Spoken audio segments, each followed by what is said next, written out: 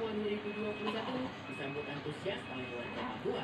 Euforia warga Papua pun terlihat ketika Raffi Ahmad yang menjadi salah satu ikon PON Papua mengikuti parade kirap api PON dan beberapa acara lainnya. Di sisi lain, sebagai artis papan atas, Raffi pun dikerumuni warga yang meminta untuk berpose dan Raffi tampak begitu bersemangat menjadi bagian dari PON 20 Papua. Oh, oh.